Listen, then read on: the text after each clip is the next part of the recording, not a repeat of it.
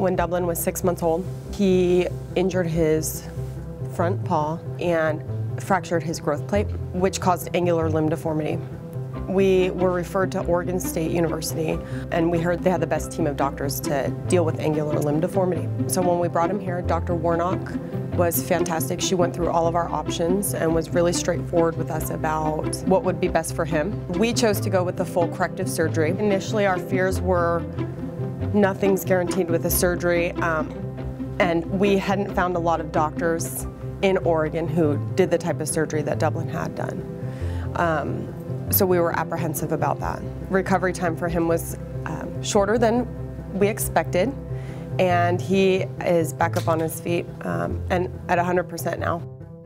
We see, especially in the referral setting, we see a, a lot of clients that are that are very anxious, that are very concerned about their pets. We realize that most of our owners that come here, their pet isn't just an animal, it's their family member.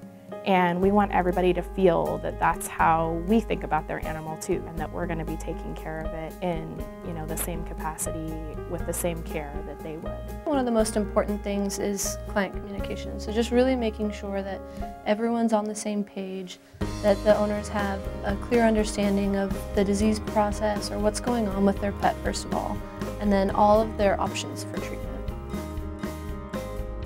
We take in appointments in the morning and we'll do exams, come up with plans, um, diagnostic plans with our owners, and then in the afternoon is typically time to do um, additional diagnostics or treatments that we have planned.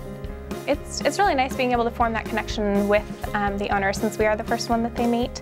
Um, and I do feel like we gain a relationship right off the bat with that owner.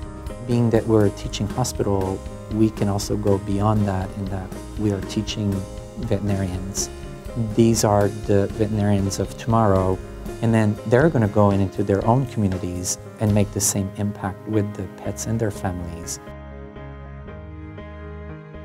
The fact that we have this environment where not only do we have um, a you know, pretty um, nice complement of really experts in their field, not just board certified specialists, but people that are um, really passionate about what they have chosen to pursue in, in terms of their professional career. And, and they really uh, make that evident in the um, type of patient care that they deliver and the interactions that we all have together. You know, we can all come together and discuss complex cases and most of the time that's how our care is delivered actually is not just with an individual person you know kind of moving forward but rather it's a, it's a team of specialists working together to make sure that we deliver the most complete and compassionate and also cutting edge care that we can to our patients.